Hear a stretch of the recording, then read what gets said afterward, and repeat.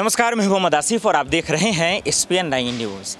Mallikarjun, अध्यक्ष बने नहीं कि उनके इस्तीफे की चर्चा हो गई। अध्यक्ष पद की शपथ ली नहीं कि छीनने की बात हो गई।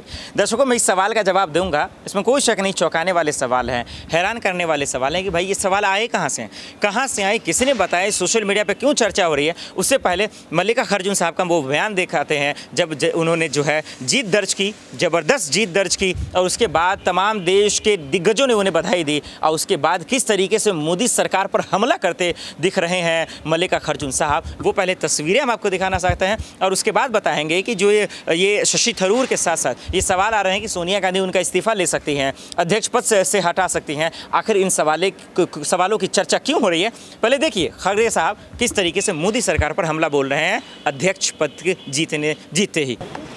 शुरू में तो मैं आपसे क्षमा चाहता हूँ। और यहाँ की स्थिति क्या है? आपने खुद आँखों से देखा है। इसीलिए थोड़ी देर हो गई, थोड़ी नहीं, एक आधा घंटा देर हुआ। इसीलिए मुझे वक्त पे आपके सामने हाजिर होने का समय नहीं आया। तो इसलिए फिर एक बार मैं आपसे माफ़ी मांग के अपने शब्दों को आगे बढ़ाऊँगा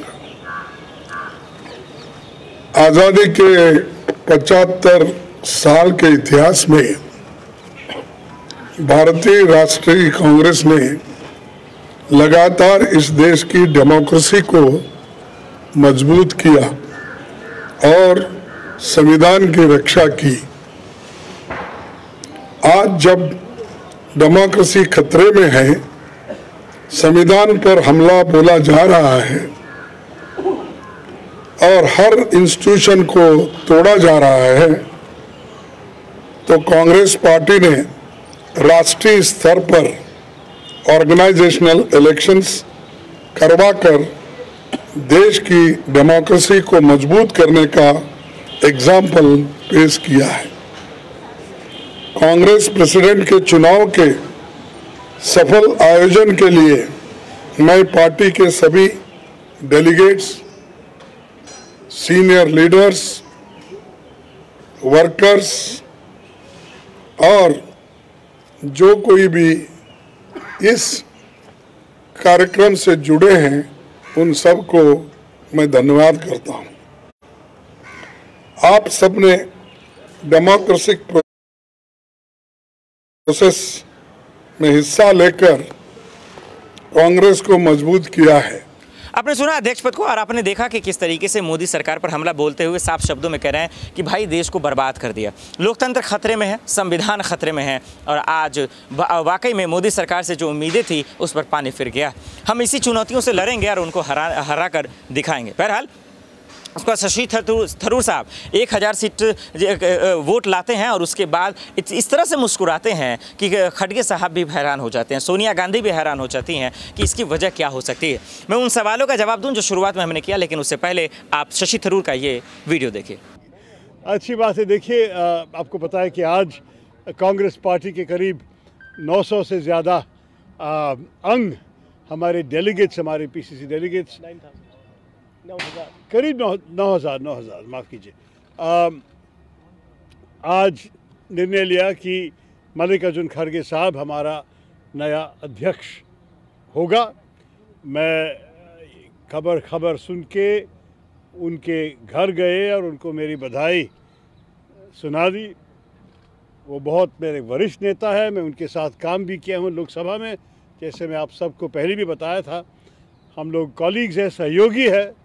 और मैं खुश हूँ कि इस चुनाव के बाद कांग्रेस पार्टी को एक नया अध्यक्ष के लीडरशिप और के नेतृत्व और गाइडेंस से आगे बढ़ने का मौका मिलेगा। मैं ये भी कहूँगा आप लोगों से कि मैं बहुत आभारी हूँ कि इतने सारे कांग्रेस कार्यकर्ताओं ने मुझे समर्थन दिए। जिनमें से एक हज़ार से ज़्यादा मतदान देने वाले हमारे डेलीगेट्स भी थे और बहुत सारे जो शायद वोट देने का हक नहीं था, लेकिन कांग्रेस पार्टी की भलाई के लिए काम करने वाले मुझे हर प्रदेश में आके समर्थन दिए, मेरे साथ निकले और हर जगह में जैसे आप आज भी देखते हैं, मेरे साथ रुक के मुझे जिस किस्म के मॉरल सपोर्ट दिए, मैं इसके लिए आभारी हूँ। मेरे ख्याल में हमारे कार्यकर्ता हैं, हमारी पार्टी का असली गुरूर और मैं कहूँगा कि हमारे कार्यकर्ताओं के काम से ही पार्टी आगे बढ़ेगी और मैं खुश हूँ कि उनको इस इस विषय से सॉरी इस चुनाव से उनको भी एक मौका मिला हमारे पार्टी के भविष्य के बारे में सोचने के लिए और उनके ही पसीने से, उनके ही काम से हमारे पार्टी का भविष्य बनने में एक बहुत भूमि, बहुत बड़ा भूमिका लेना। मैं चाहता हूँ कि पार्टी उनकी भी आवाज़ सुने।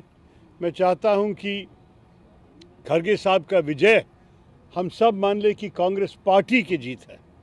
मैंने शुरुआत से ही कहा था, ये कोई व्यक्ति का विषय नहीं मैं मेरे लिए कुछ नहीं चाहता।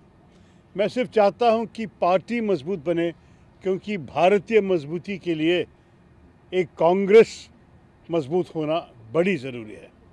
तो इसी स्पिरिट में और इसी उद्देश्य से मैं लड़ा और जो भी इस लड़ाई में भाग लिए, उनको मेरी बधाई और मेरी ऑल माई ग्रेटिट्यूड मैं बताना चाहता हूँ। मैं उससे अभी रुकूँगा क्योंकि अगर आप लोग को प्रश्न होंगे तो शायद उसके लिए जवाब दे दूँगा। लेकिन मेरे मन में ये बहुत अच्छा हुआ कांग्रेस पार्टी के लिए और यहाँ से हम आगे बढ़ के कांग्रेस को हमारे देश के आने वाले चुनावों में एक बहुत बड़ा असर पड़ेगा मेरे ख्याल में, क्योंकि हमारे कार्यकर्ता भी जाग गए हैं, सब लोग तैयार हैं बीजेपी के चुनौती को निपटने के लिए और मैं भी काफ़ी कॉन्फिडेंट हूँ कि हमारी पार्टी आप लोगों को हमारी कामयाबी दिखाई सकेंगे। देश का गुरूर। शशि थरूर। देश का कोहिनूर शशि थरूर। आपने देखा दोनों वीडियो को आपने देखा समझ गए होंगे कि चलिए अध्यक्ष पद की महामारी जो है हंगामे के बीच का ये वीडियो तो आया लेकिन अब सवाल उठ रहे हैं। सवाल ये उठ रहे हैं कि जिस तरीके से राहुल गांधी का जो सफ़र था सोनिया गांधी का जो सफ़र था अगर वैसा ही सफ़र जो है अगर खड़गे साहब का रहता है, नाराजगियाँ नेताओं के बीच में रहती इस्तीफे का दौर शुरू रहता है तो शायद सोनिया गांधी उनसे इस्तीफा ले भी सकती हैं। अध्यक्ष पद छीन भी, छीना भी जा सकता है। सवाल ये भी आया कि अगर जो है चुनाव के नतीजे अगर 2022 की तरह रहें, जैसे कि मणिपुर, गोवा, उत्तराखंड, पंजाब और यूपी में हुए, अगर इस तरह का कांग्रेस का प्रदर्शन रहेगा तो फिर उनसे छीना जा सकता है। देखना होगा कि सोनिया गांधी आने वाले वक्त में क्या कुछ फैसला लेते हैं। आज के लिए इतना ही। मुझे दीजिए इजाज़त और आप देखते रहे स्पेन आई न्यूज़। नमस्कार।